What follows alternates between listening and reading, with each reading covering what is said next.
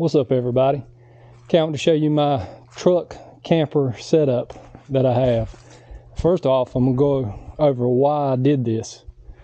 Uh, through the years, I've had campers. I've had like four different campers through the years, and recently I got online looking to see how much campers were, and I was looking at those little smaller teardrop style campers, and I was just basically outraged at the price of price of campers and the price of these things.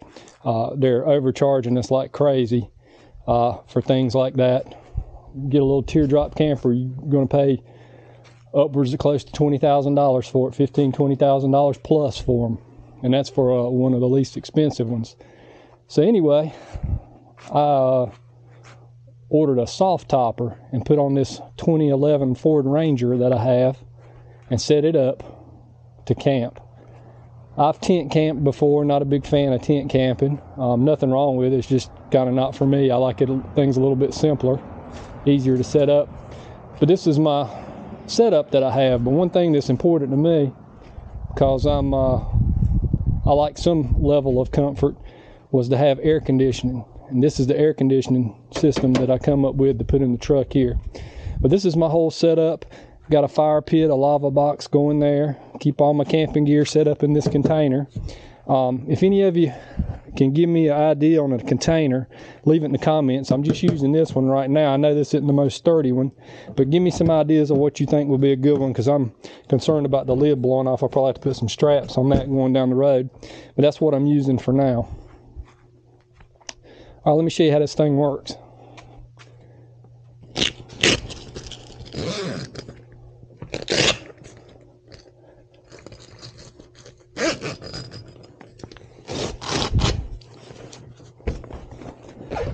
What I done was just got a piece of plywood, got some two by twos, and just kind of put it together and built it, measured it off where it would fit in like a tailgate of the truck, slides down in there.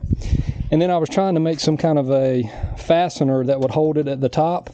And I just kept it simple, so I ended up getting these straps right here and just using these straps and strapping it in. And as you can see, it's very sturdy. So this is the air conditioner. Um, portion. Now, like the other night when I went camping, it's still, obviously, it's still winter time. It was cool, so I didn't need the air conditioner. So I built these other portions too, and this is how easy you can get the air conditioner in and out.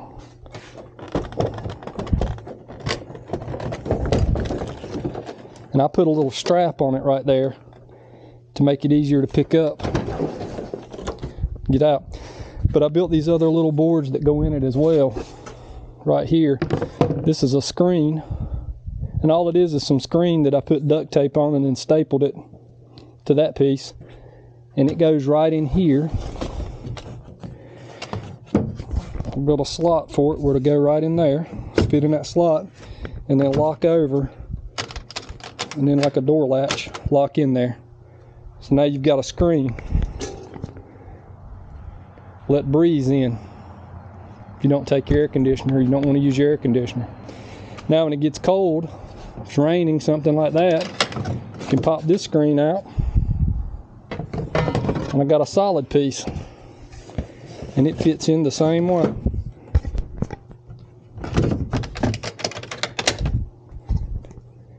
Now, now it's a solid piece.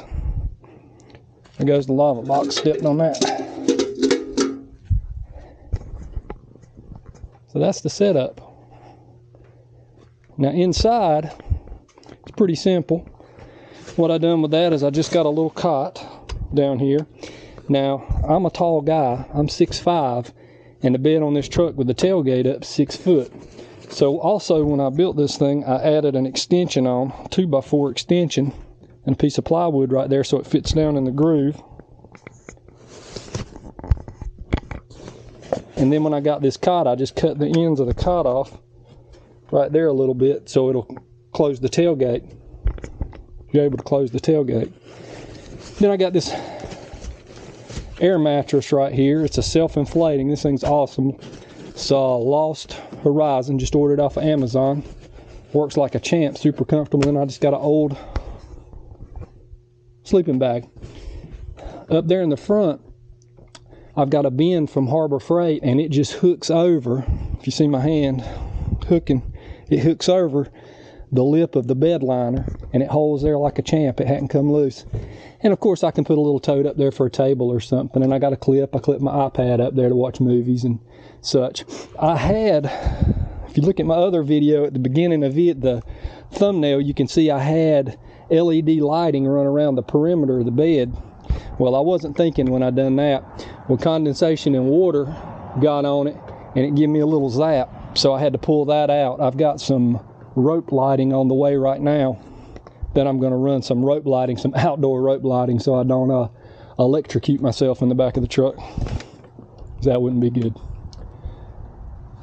All right, once again, just kind of a distance walk over. I'm trying not to trip over that box again.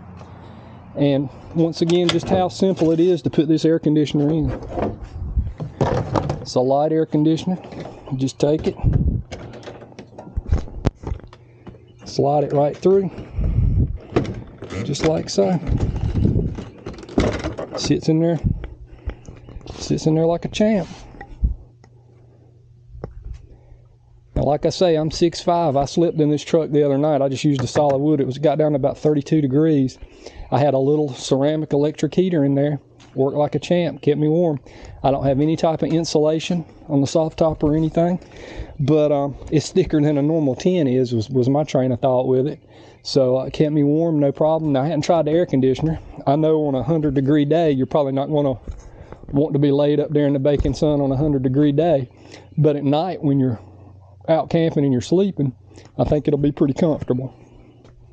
Anyway, if any of you have any questions, want to know anything, how I done it, or measurements, anything like that, if you got a similar truck, leave a comment.